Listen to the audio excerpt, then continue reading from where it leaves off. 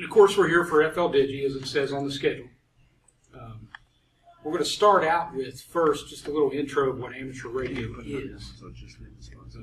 There's no PowerPoints. There's no there's no slides. This is going to be a demo just to show Oh, yeah, you right. what things are. Um, so how many here know what amateur radio is to some level? That one is on at the bottom. Okay. Um, Small. Check that. You know, of course, the image most people have of ham radio is kind of like walkie-talkie. You're sitting there saying hello, hello, hello, hello. And certainly there is that aspect to amateur radio. Yeah. But we're going to show you how some of it has changed and how it can be used in a, in a digital world. Ham radio is just, or amateur radio is just that, it's radio. It, it's a set of frequencies that the government sets aside for people that obtain an amateur license to use. Now, it can be used for voice, it can be used for Morse code, but it can also be used for digital, which is where what we're going to show you today comes into play. Um, an amateur radio can be used to talk to somebody 20 feet away, or it can be used to talk to somebody around the world, depending on how you figure it out, depending on antennas and what you set up and all that kind of stuff. Uh, and the great thing about it is no infrastructure in between. You know, I know we're all computer people and tech people and internet people, but, but we also know there's times that that stuff doesn't exist. Sometimes it's down. Uh, and one of the appeals for me starting with it was just that. All I have to have is a radio and and a power supply and an antenna, and I can reach out pretty much wherever I can configure that stuff to get out. Now, of course, there's considerations of power and antenna. You know, the higher the better, all those kind of things. But that's the general idea. and just second.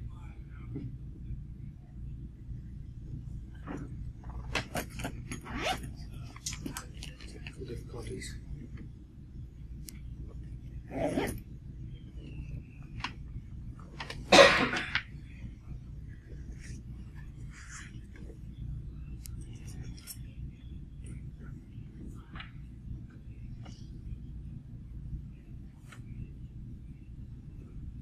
I'm trying to get something up for you guys.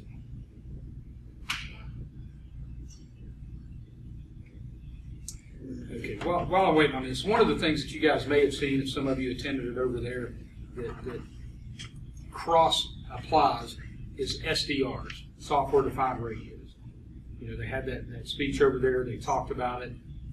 That's used pretty heavily now in the amateur radio world as well. It's not just for networks. Um, you, can take an SDR, you take one of those dongles he talked about, and set it up on your computer and start seeing some of the stuff even that we're going to be doing here. Getting that information that's out there. Because even though we're in the day and age of cell phones and internet and stuff, there's still a lot of radio waves going out there. There's still a lot of stuff happening. People talking back and forth. And it's, it's interesting. You know, you can pull down even uh, satellite images that they broadcast, satellite TV. Uh, the, the government is constantly putting out information, whether it's weather or other types of things like that from it that you can gather. And you don't even need a license to receive. You only need it to transmit. You want me to talk a few minutes while you try to get that MacBook Pro to work? If you don't mind, please. All right.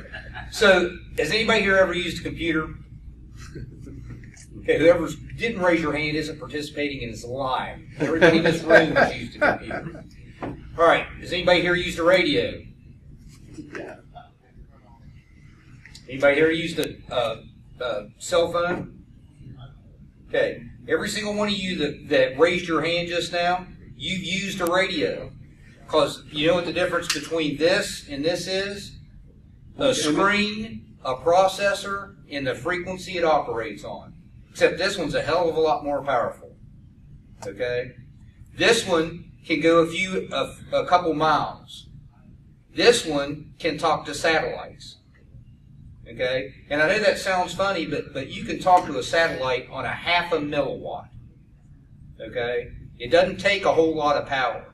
These are not very powerful, operate in a higher frequency range, and that's why you've got to have a cell tower every couple of miles to be able to handle these things and be able to communicate. All right. So if I want to make a phone call, what what is the path that this takes? It goes from here to a cell tower, and then can anybody else tell me what happens next? Goes to a call center. Okay, goes to a call center via probably fiber. Okay, or some type of backhaul system, radio tower to radio tower to a central to a central telco. Then does anybody know what happens when it gets to that central telco? IP network switch. Very good, Donnie. Very good. Okay, it, could go to an uh, uh, to an IP switch somewhere. Eventually, depending on where that call is going to be, it's going to go up into space and it's going to go to a satellite to go from from one place to another. All right. So you've gone from a radio to a landline to a satellite, which isn't any more than a very high frequency radio with a whole lot of bandwidth. All right. So there's a whole lot of infrastructure involved in getting anything from here to here or to another phone. It's dependent on a whole lot of moving parts. Well, imagine, if you will, with this setup right here, I can send email from anywhere. I don't need all that infrastructure. Okay? I can pick up and I can talk and I can talk uh, uh, 50 miles away or I can talk 100 miles away using the knowledge that I've gained through amateur radio. I can bounce signals off the ionosphere. I can bounce signals off the moon to talk to people on the on the other side of the world. Okay. Now what we're going to do specifically is not talk about I, I could spend the next three weeks talking about amateur radio and not even begin to scratch the surface of all the different things that you can do with it. But what we're going to do here is we're going to show you how to get data from one computer to another using a couple applications with zero infrastructure involved. For example, uh, uh, people in sailboats in the middle of the ocean can't reach a cell tower, but they can still send email through a system called SailMail or WinLink. All right. So, and uh, the guys up in the in the International Space Station, they don't use cell phones. They use radios. Whenever we talk to satellites that are on the other on the other side of the of the the uh, solar system, all they're using is a computer and a radio with a with a satellite thing. All right. So what we're doing here, what doesn't seem impressive between this antenna and this antenna, you know, we're right here together. We're just doing that for demonstration uh-huh. purposes. The the idea is is that I don't need a satellite, I don't need a landline, I don't need anything else. Some of the other places that, that this would apply, a lot of you may be into Raspberry Pis and getting information to and from. Well, having an amateur radio license allows you to operate in frequency ranges that aren't possible. You can you can uh, operate with an amount of power, one and a half kilowatts worth of power, to communicate back and forth with those kind of devices. So you're not limited to just being able to use Wi-Fi or Bluetooth signals to, to send and receive control commands or to send and receive files.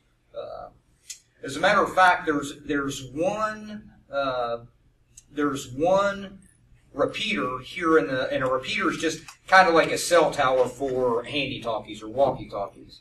Um, that the the command and control unit for that is a ras- there's a Raspberry Pi sitting in the building up there that people can use that can contact by radio that is used to control that repeater system. So I can get on here with with the computer and start sending telnet commands to that Raspberry Pi to make it shut down that remote radio or open it up. And I could do that from miles and miles away, not just a few hundred feet. So are you getting somewhere finally? Getting there. These Macs that always work. right? It's not the Mac, it's the adapter No, it's the Mac. and the operator.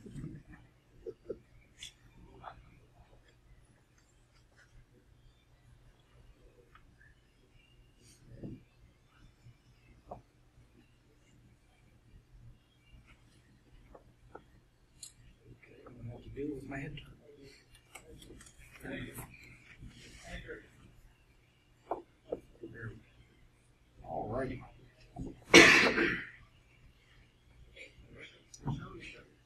Okay, so, so with that in mind, we're, we're going to demonstrate just one simple thing, and this is a program called FL Digi. Wait, wait, it's showing Amanda's. Oh, you gotta delete some stuff. That's what. Okay, it's probably pushed down too far. Check it out. Alright, so. Alright, here's what you do Pad on speaker text. Take out Amanda's hugs and stuff. It's probably like.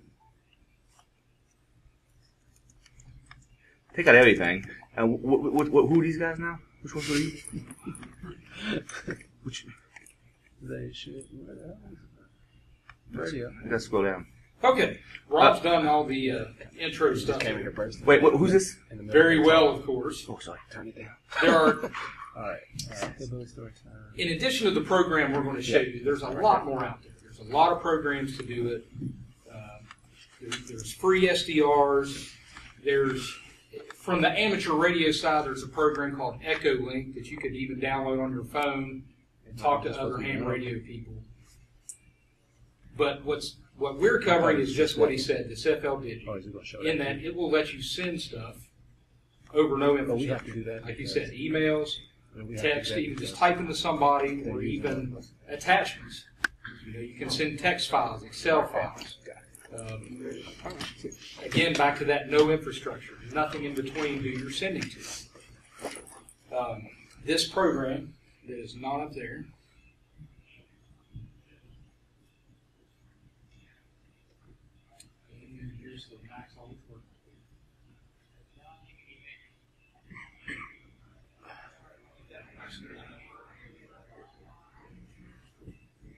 This is available for Windows, Mac, Linux. It's open source. Everybody likes open source. It's all out there. And you can use it to, to operate a range of equipment, which is what I'll talk about first, and then we'll show it actually working. In that, I can have just a laptop and a $30 radio, and I can transmit and receive, again, documents, text, anything you're sending back and forth. Uh, it's it's like the old modems. I mean, I know some of you guys have seen the old modems. You sit down on the cradle, right? You hear the noise. Anybody ever use those? okay, we got a couple of you. and that's exactly what it sounds like. Maybe a little bit like when you used to dial up to AOL. You would just hear it all the time, and that's what it is. Slower, but it's there. Um, and you would just hold this up, and you would key it like you were talking to somebody. Hold it up to your speakers, and it would sound like this. Just put in a little test, even if it's not spelled right. Turn the sound up.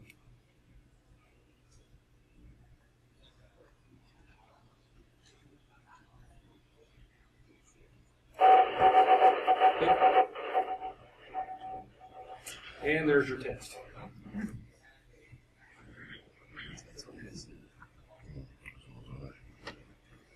And that's often what happens in messing with stuff is problems. In just a second. Oh, it's coming back.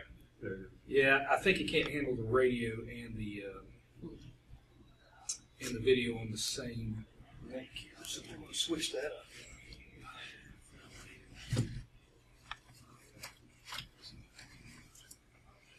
Should have just brought a Windows computer. What? Man, that'll get you thrown out of here. Three people just died. My heart's still pounding over that. It had to wake you up somehow. Yeah.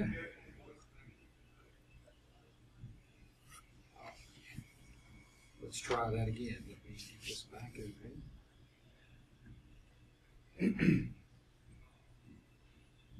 Sorry, what was the name of the package you were using? It's FL Digi. Thank you. Let me get the log back in.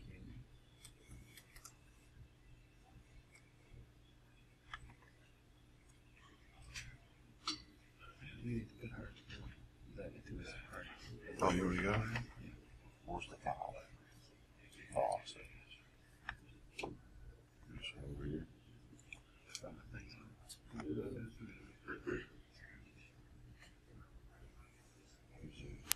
That's the hugs and hackers. Go ahead and just amend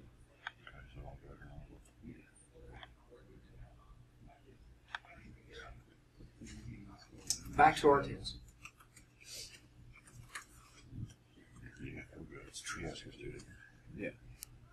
This is the one we're talking about now, right?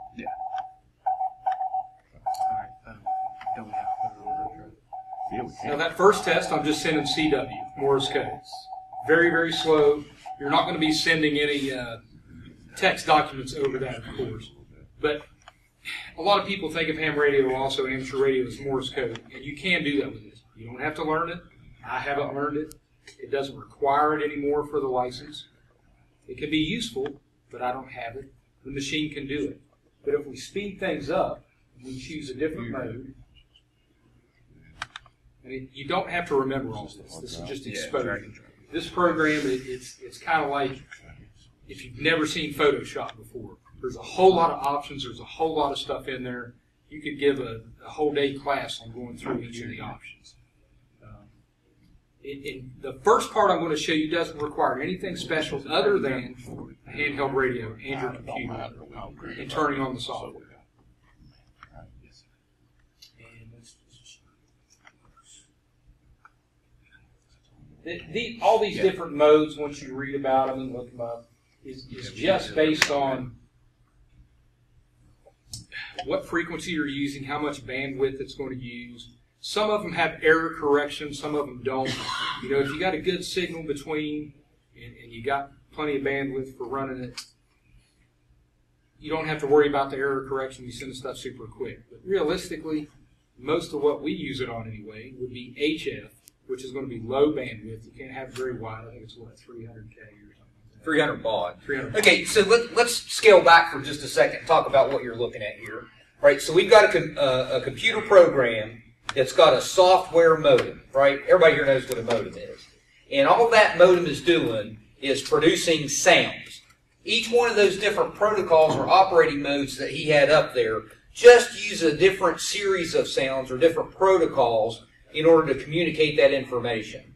And the wider the bandwidth or the wider the, the spectrum that's used there, the more information that you can transfer in between the two systems. All right? So, so really all we're talking about is we're just changing from sending, uh, sending signals out across an Ethernet cable or uh, Wi-Fi and using a radio for that transmission. Back in the day, and you could think like Matthew Broderick and War Games. Everybody see that movie? Uh, all right. So you know, whenever he wanted to do that, he picked up his telephone, popped it up onto an acoustic modem that transmitted sound or, or translated those electrical signals into sound. Used a telephone line for transmission to a telephone on another that translated that sound back into electrical impulses. So that's all that's happening here. We've just replaced the telephone line with radio waves. All right? Now we're going to send a test doing just that.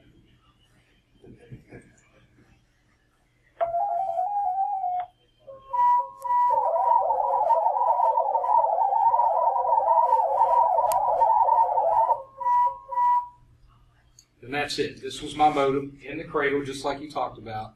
If someone was on the frequency on the other end, had this running, they'd have picked it up. So I bet I believe someone is. Let's try that.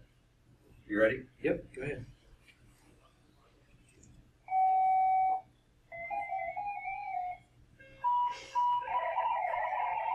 Yeah, Except I don't have my sound set.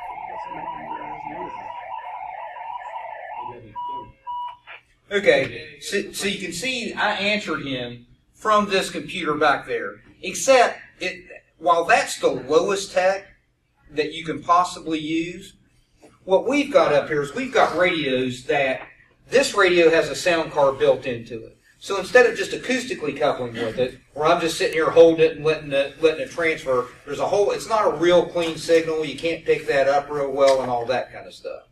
Well, this radio I've got, and there's also other devices which Aaron's getting ready to pull out here. That's called a SignaLink device. This is, at first, it's just a sound card in a box, but it also has controls on it to control a radio that doesn't have all the stuff built into it. So, you can imagine it'd be pretty tedious to sit there and hold this thing every time you want to send, let off every time you don't. You can do it. The next step, it's only about 100 bucks, 90 bucks, You get one of these. You can get a cable, and they have jumpers inside where you adjust depending on which radio you have. You hook it up to here. You could hook it up via USB, and it'll handle transmitting and receiving. You don't even have to hear the noise anymore if you don't want to. You can turn it down. The, the advantage to this is it can work with several radios. You know, you can have one in your car, you can have a handheld, you can have a big one, and you just change it a little bit, change a cable, it'll do everything you want. And then the, the best option are radios like these, like you said, where this is all built in. All I got to do is hook up one USB cable, and not only will it send and receive, but all this other stuff it can control. I can control what frequency we're on, everything. It'll set the radio to do that control. Which will go ahead and turn it on.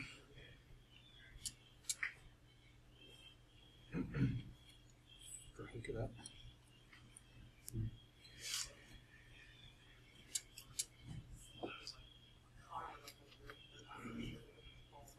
May close the software first.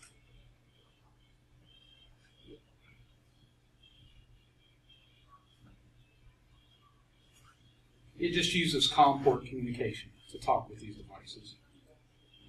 Sometimes it hurts. So while he's working on that, keep in mind, like I said, right here, this isn't real impressive. But last night, I was using this exact same setup with a much larger antenna talking to a guy in Venezuela. Just, just me and him. Nothing else in between. And he had a similar type of setup on the other side. And my adapter would be in the- Just a sec. I apologize for the delays. I did a pre-flight flight this last night, and it's not playing nicely today, of course.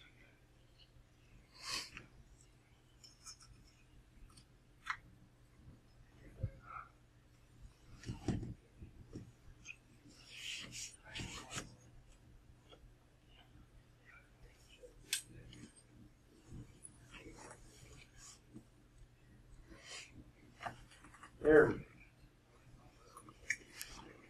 Now what you're seeing in the upper left-hand corner here is the current frequency that we're on, which is this is one that's allowed by the FCC.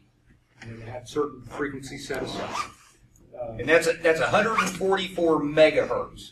So if you compare that to 2.4 gigahertz, that's referring to the, the wavelength that we're using. And each wavelength has different characteristics and, and uh, as far as, as how it behaves. So, so we're, instead of using a uh, short, the ultra high frequency wave, we're using one that each individual wave that, that occurs is about two feet long. Or, I'm sorry, six feet long. It's two meters, is how long one wavelength is.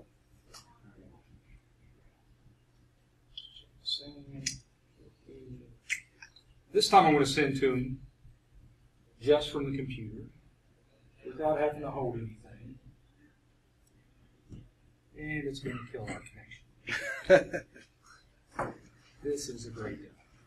You, you would have seen the same thing that you did before as far as what came across. The difference is I'm not sitting here holding the radio and you don't have to hear it. Now, there's some advantage to hearing it. Sometimes once you do this for a while, you can kind of figure out what mode they might be using.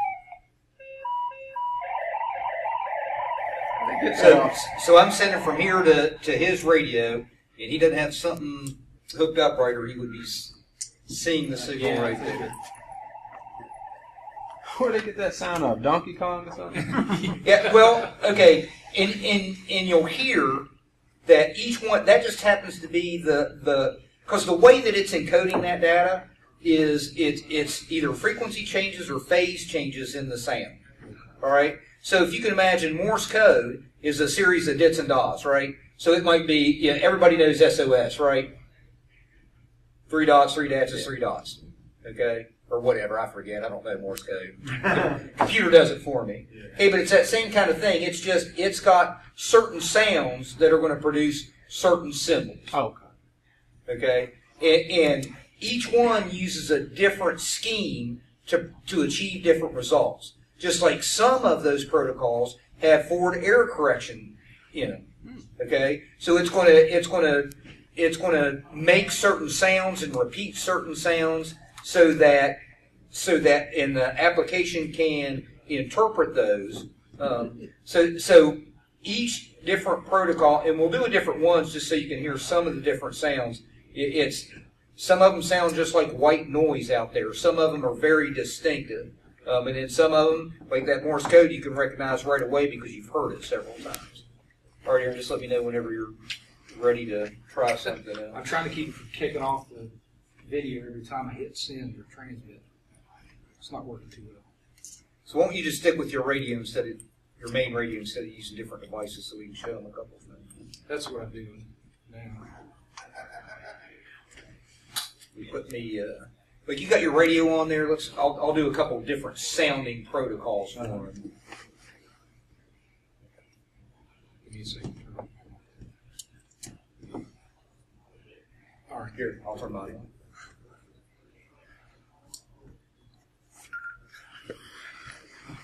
on. All right, so this one you'll you'll probably recognize.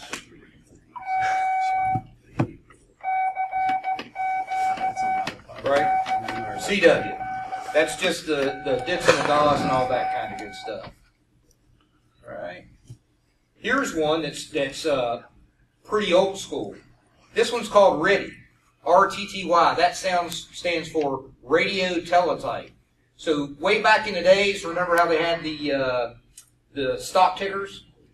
And a little piece of tape coming out of it. You see them in old old shows. It's like, uh, and they're reading all the symbols off of it. Yeah. Well, that's radio teletype, right? That's how that's how that worked back in the day. Is is they just broadcast a radio signal. Somebody sold these uh, stock ticker devices that interpreted those radio signals and spit out uh, tape with it.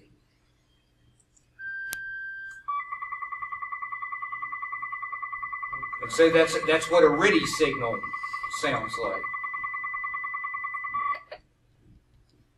Uh, now here's one that's a, a little bit more modern. Modern. This is called Thor 50 times 2. Okay, so this is a real wide bandwidth, um, and this would still send data slower than uh, 56k modem, way slower. We're talking like down 300 baud kind of kind of speed. So it's not not super fast, but once again, you're talking about no infrastructure communications.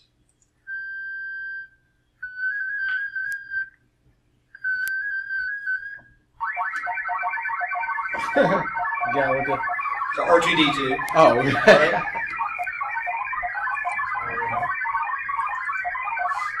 and that was the Thor. Yeah, that one that one's called Thor 50 times 2. And one of the advantages to it is number one, it, it's a lot wider bandwidth. Um, so instead of sending uh, uh, characters at like 10 words per minute, you're talking a couple hundred words per minute with that protocol.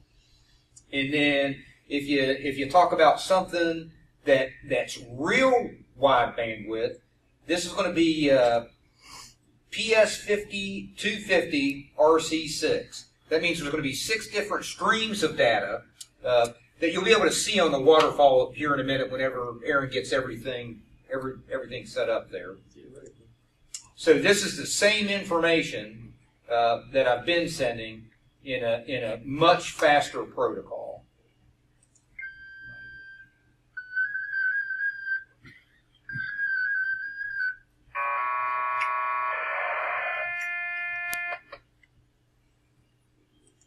Okay, so that sounded way different. Did anybody notice anything uh, similar about every one of those transmissions? Ah, beginning. Right, the beginning. that's what I was about to say. Yep. The very beginning, every single one of them. Listen, listen to the first. Okay, the first second is going to be just a straight carrier. Carrier. Okay, that that's used to just open up the mic um, and, and give it a second. So it's just going to be a steady tone. But I want I want you to listen to the next tone before the kind of noise. All right. Then we'll talk about what that is.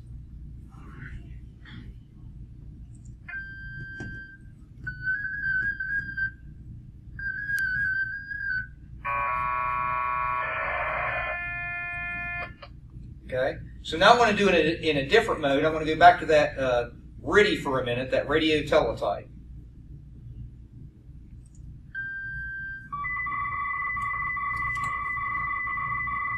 Oh, never mind, that mode won't do it. Let me go back to the Thor 50 times 2.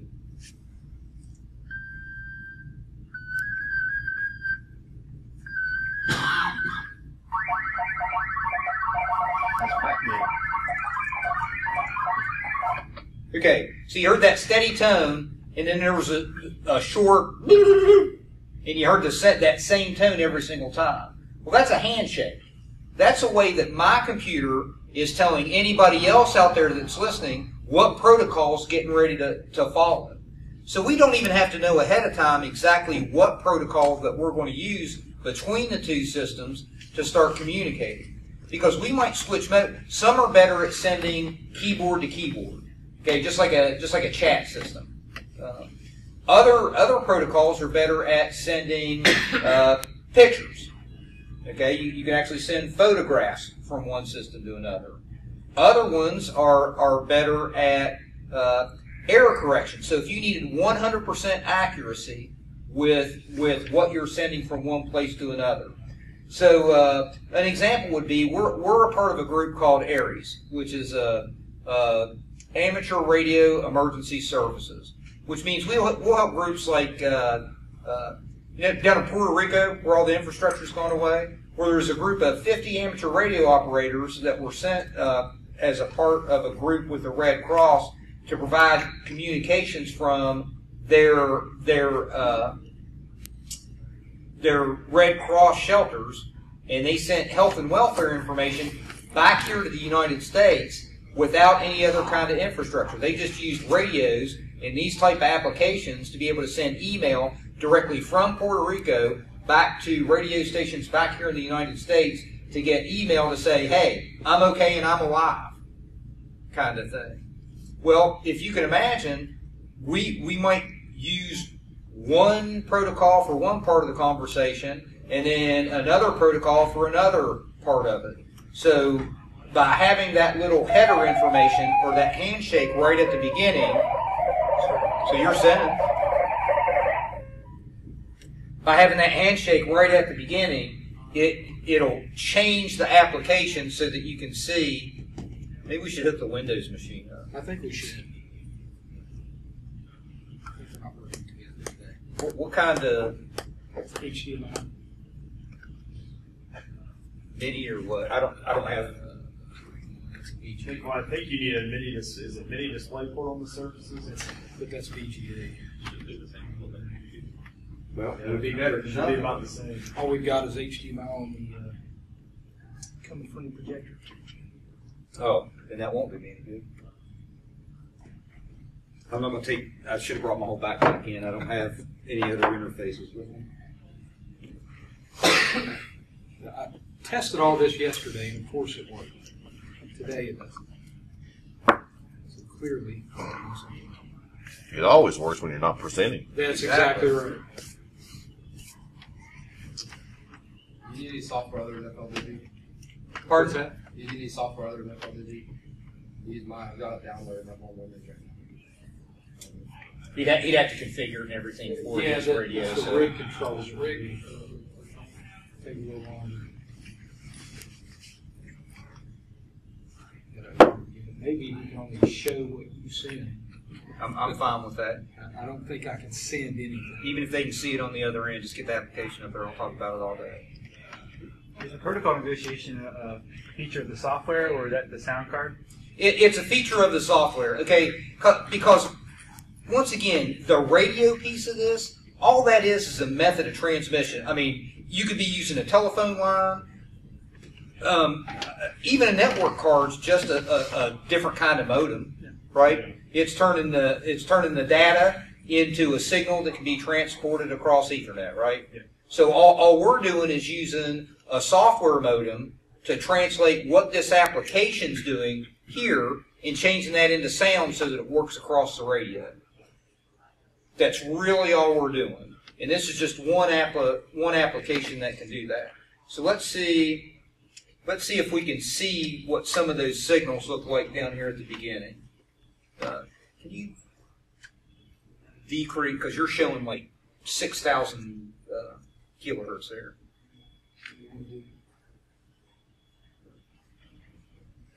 Okay. I want that water. I think so. No, that's right here. There you go. All right, so I'm going to go back and I want to I want to put it on 1500. Okay, so what right now I want to go back and, and I want you to show you what the different bandwidth looks like, the spectrum looks like whenever we're using that. And this goes back to the this goes back to the transmission. Okay, so first I'm going to send uh, NCW again. Uh, okay, and then change to CW because it won't automatically change over.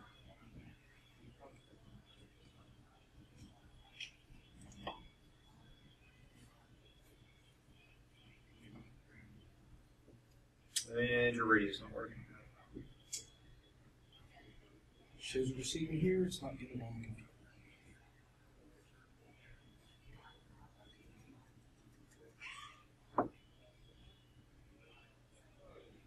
So, so what? While you keep working on that, so what you would see here, if the Mac was working,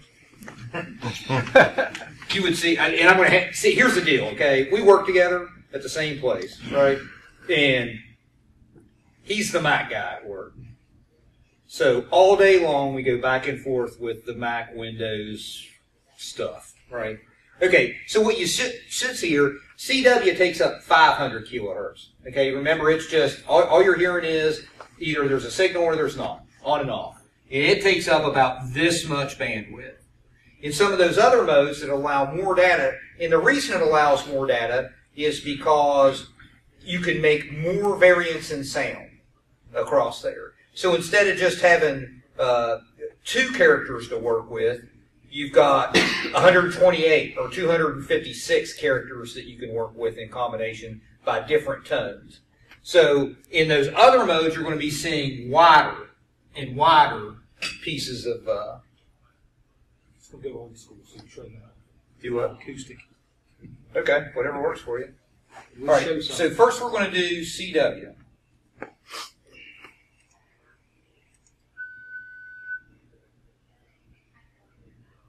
Except I have to send something. Okay? So now you can see that takes up very little bandwidth. So next I'm going to send I'm going to send something, and this is I want to send something that has a, a handshake along with it. Uh, this so you listen to those beginning tones, and his in this application is going to hear those beginning series of tones and know what mode that I'm transfer. Or this is the theory anyway. I don't know if the Mac's up to the task. So here's the handshake portion. I just seen it move to the red portion. Right. And then, so it automatically expands. Okay. You can see the text that I'm sending up here, CQCQ, DE, W8XRW. That's my call sign, W8XRW. And that would be a method of saying, hey, anybody out there in the world, somebody come back to me. That's what that CQ means. All right. So now I'm going to switch to a, a mode that's that's even wider. This is Thor 50 times 2, and it should automatically pick it up again.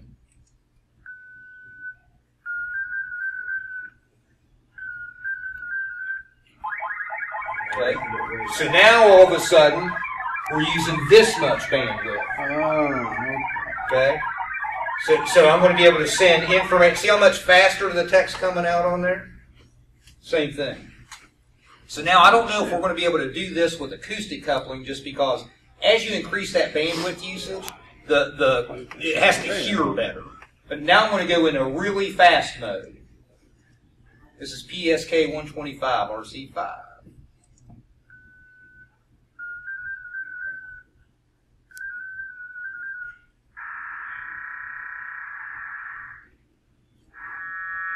And it's and it's too much. See how it got kind of garbled there at the end? It's just too wide a bandwidth for that acoustic coupling. Now, now if at this at this distance with the signal that we have, um, if he had it hooked directly to his radio and we could skip that acoustic coupling piece, it'd be 100% copy. But you can see with the increase in each one of those. Uh, let's see. Let's go to uh, see if you can open up FL AMP. Okay. Now FL AMP or FL AMP is because right so far we've just been doing chat type applications, right? We're just typing out some text, going keyboard to keyboard back and forth. Well, now what we're going to do is I'm going to transfer, I'm going to try to transfer a text file from my computer to his computer. And we're going to add, so, so now what we've got on is this application is going to use FL Digi to send information back and forth. And this, this works more like uh, a, oh, I don't even have a good example. Let's see if we can get it to work first of all. Maybe like a peer-to-peer file transfer. Yeah, It's FTP. File transfer. yeah, yeah. That's a, that's probably the the closest closest example that that I could think of. That's a good one. All right, so let me try to get a protocol here that won't take forever. Or actually, let me make, make a smaller file real quick.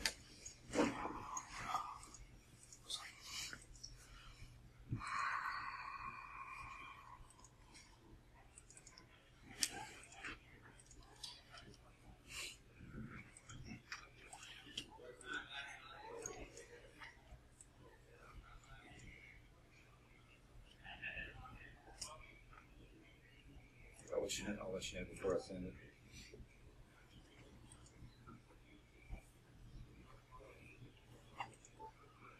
All right, so I've got a small text file ready, and I'm going to I'm going to send it to him. So, Aaron, go ahead and uh, I'm, I'm going to send it now.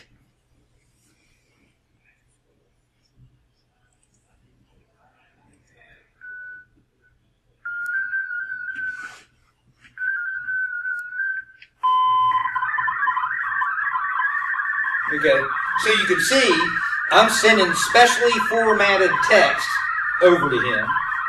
So it's got a header information, then it's going to send a block of information that's encoded. Kind of like a packet, or how packets work. Do what? Something kind of like how packets work. It's structured exactly like a packet. You've got a header, you've got information, and and then you have a footer on it. Okay, in that blocks of text, actually in a file, in a transmission. You can see that he's picked it up over here, and then he can actually open up that text file. And it's real simple. All I sent was a text file that had test in it. So it just it just took a second. So that kind of gives you the idea of now once again that was a real short transmission, real close range and everything else.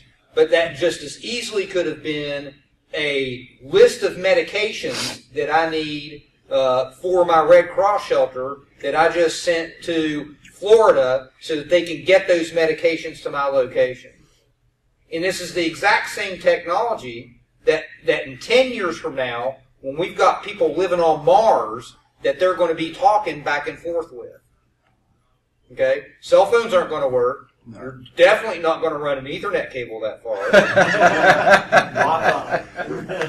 Get Wi-Fi on Mars. okay? Okay, except that that goes back to the different types of wavelengths and radio signals that you can leave. They're not going to use a UHF signal just because of its characteristics. They're going to want to use something that's a little bit lower bandwidth that has a lot longer wavelength just because of its propagation.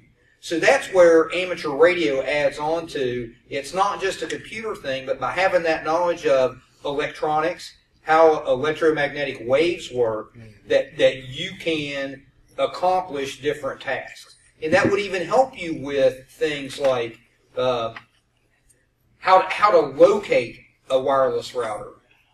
Because you learn things like how to build antennas and do direction finding okay, and how to triangulate on signals like that, or to gather telemetry. That uh, this is the same technology that they would use out in a gas well or in the electrical grid. You ever seen those uh, little stations that are sitting in the middle of the interstate that have like uh, antennas sticking out of them? Yeah. Those are those are called Yagis, and those are those are uh, weather collection stations. Oh. And they're transmitting that, that weather data back to a central point via radio. Okay? So it's a set of instruments gathering data and sending that via radio, and that's called telemetry, right? You've probably heard that term before. I'm gathering data and transmitting via radio. And it's no different than something that, that uh, a lot of makers out in California are, are getting their amateur radio licenses specifically for reasons like that. You can couple a radio with a Raspberry Pi to do all kinds of neat stuff. Remote control, remote telemetry, um, just like I was telling you with that uh, with that repeater station here in the valley that's being controlled with a Raspberry Pi. Okay, so it's got a radio on it, and it's got a uh, it's got a serial cable that goes from that Raspberry Pi to that control unit, and they use that Raspberry Pi to control that piece of equipment via a computer and a radio, just using telnet commands. You done any ham, ham mesh? Do what? You done ham mesh? I haven't, but I've read about it. Okay, and, and what the gentleman here is talking about is uh, mesh radio. It, it's actually special software that, that you can put on the old uh, uh, WRT radio or uh, Linksys router. The old Linksys. WRT. Yeah, WRT. Yeah, the old, yeah, the ones everybody had. Yeah. So. Yeah, Yeah, It- it's just like uh, eBay, the- yeah, just like putting uh, uh, tomato or DD-WRT. Okay, well, it's special radio that's that uh, that is a special build just for so you can go out and throw uh, uh, a bunch of wireless routers throughout the valley. They all sync up. Uh, has anybody ever heard of uh, Ubiquiti? Yeah. Okay. They've got they've got mesh mesh uh, mesh cap- capability. Except this is homebrew amateur radio, open source, doesn't cost a thing. And there's an added advantage. I could use way more power than any of you punks when I transmit it. Okay, because I'm authorized by the FCC to really up my game, which means instead of just having uh, uh, five watts or less, I can go with 50 watts or 100 watts of power, which means my signal is going to penetrate buildings better, which my, means my signal is going to going to go further than what yours is. Okay. So once again, there's another little. If you get your amateur radio license, you can do more than the average Joe. Authorized Yeah. to do more than that. Yeah, 'cause one thing. Keyword authorized. Authorized. and don't get caught because it's a ten thousand dollar fine and a felony. Felon? Yes, It's a felony. it's not a misdemeanor; it's a felony. Un- unauthorized use of the airwaves. They got to find you first, Of course. and they got to care. Yeah. We, we were having this. We were having this conversation before this. Is is that's one of those things that uh, where you really got to watch is interfering with other radio services. Okay, that if you start uh, playing around with this junk and you're transmitting on uh, 800 megahertz. Well 2.4 okay, and you start interfering with the wireless systems at CEMC. I worked there. That's funny. they're going to come after you. Yeah. Okay, because you're endangering people's lives. If you start transmitting on the Kanawha County Sheriff Department uh, frequency and start doing this stuff, it's not going to take them very long to come after you. If you're on the amateur radio frequencies and you're getting on there and making fart noises for an hour, nobody cares. FCC isn't going to come after you. So, so, but once again, I, I I would never advocate illegal use of any frequency. And, and that's not a joke. And there's a reason for that. Just don't do it. So yeah, just don't do it. Just get your amateur radio license. It's easy. Yeah. We're going to offer a test tomorrow. It doesn't cost anything. You can just show up and try and guess. You might pass. Yeah, they're doing it for free. Free. Yeah, we're Laurel VECs, not A double R L dollar signs. Okay. Cool. Okay, it doesn't What, cost here? a penny.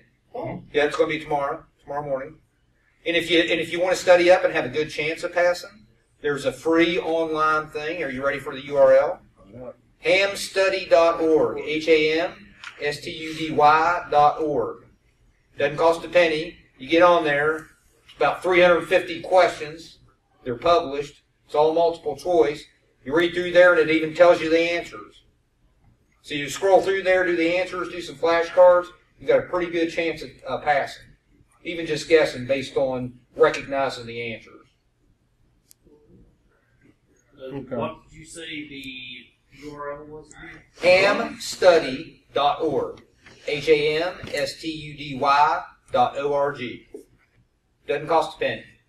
You can donate if you if you feel like License it. lasts for 10 years. Do what? License lasts for 10 years. Yeah, the license period is 10 years, and all you got to do to renew it is say, give it to me again. That's just a way for when us old farts die off that uh, my call sign can be reused. And we're studying for amateur extra Do what? no, no, no. The technician. Technician. technician. Yeah, the very first one, it, the different levels are technician, general, and extra. Technician pretty much qualifies you to operate on frequencies that'll work on this. Everything that we've done here today, communication back and forth, was all covered under technician. That allows you to use handy talkies. It's it's uh, uh, two meters and up. Uh, there's a couple HF frequencies, ten meters and that kind of thing. But that's not talking around the world kind of stuff. That's your general. But even getting that technician license would allow you to do things like operate those uh, mesh-enabled amateur, uh, because those are on those higher frequencies, 2.4. And you even get even, I mean, you've got every privilege above two meters on every band that's authorized for amateur radios that include a whole lot of experimental microwave and above frequencies. So what other questions are there? Done a little bit of show and tell, not as much show, a whole lot of tell. Need to like SailMail and things Yeah. like that. And what he's talking about, SailMail there, the, the amateur radio version of that is called WinLink, W-I-N-L-I-N-K. That's what I talked about those amateur operators in, uh, in uh, Puerto Rico are using to send email with. And that's an application that, that uh, doesn't cost much, about 30 bucks or something like that to register it. And you can use it for free. But that's what would allow you to send uh, email, and, and it's just a regular, I don't suppose you have WinLink on there, do you? Uh, not on here. Of course, my guy. It is on Windows if I boot into Windows. Well, boot into Windows. Use that hardware for something useful. You can tell y'all the best of friends. We're brothers. We grew up together. All right. So, uh, but that but that WinLink is what would allow you to send send. I use it every night, and it and it operates. It can operate independently of the internet. The way WinLink works, um, we're a little bit over, but that's okay because this is this is interesting stuff. But the way WinLink stuff works is there's there's three main gateways across the world. There's one in San Diego. There's one in Perth, Australia. You remember where the other one is? Somewhere, secret Yeah. location. I don't know. Yeah. Finland or something, maybe. I don't know. But anyway, there's three main gateways. And the way this works is a store and forward kind of system. So you've got all these person people across the United States and across the world that run listening stations. Okay? And those run and those have PACTOR modems, which are real high speed versions of the software modems that we're doing there. So I send an email, it goes to a listening station or a radio. It has a it has an email server connected to that radio. That email server can either go across the regular internet to go through. It's got an inter- interface to go across the regular internet, or it can actually transmit to other stations like that. So it's like a giant mesh network, and it will get that information through a store and forward system over to those three main gateways that are across the across the United States. So whenever so whenever little Kim Jong whoever blows up all the satellites with an EMP pulse, I can still send an email to my mom and tell her what I want for Christmas. All right. And that sounds funny, but but once again, we're talking about the lack of infrastructure, right? Internet goes away. The Chinese shut us down. The government shuts down the internet and says, we're doing this to protect you, right? Well, you guys aren't talking, but I can talk to him. I can talk to that guy in the back of the room. I, I can still communicate to people whenever whenever everything else is falling apart. And it sounds funny, but it's not so crazy anymore. Uh, it could happen any time. Exactly. And this whole time, I've been operating off grid. This right here is a battery. oh, Okay. My computer runs off a battery. I've got a solar panel. I'm out in the middle of nowhere operating all day long, communicating off grid.